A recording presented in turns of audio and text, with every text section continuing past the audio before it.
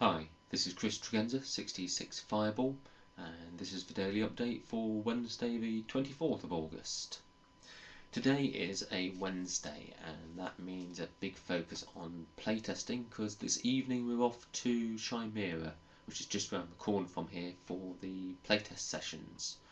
We run sessions from about half five till 10 o'clock at night, so Wednesdays turns into quite a long day for us. Um, on Bright Spark, we started today with a bit of admin, um, which was all sorting out the sales of a few things which had come in overnight. So that was good. Always nice to start the day with a bit of money in the pocket. Um, but the playtesting is the main thing for today. Tonight, um, Faye will be trying out the opening um, scenes of her modern science fiction um, adventure about an alien invasion. So she's going to try the establishing scenes and a few bits about the characters tonight. I'm going to be concentrating on shootouts in our playtests tonight and during the day getting ready for them. Um, the original version of shootouts as a playing service, use these sorts of things um, to build up the board.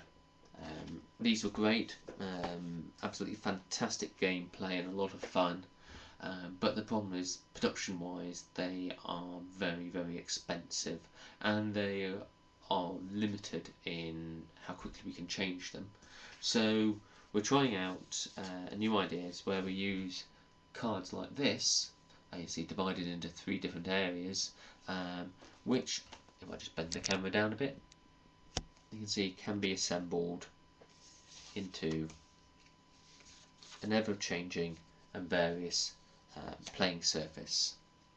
We tried that last week, it threw up a few problems, um, so we're going to sort of adjust the th gameplay and try it again tonight to solve those problems.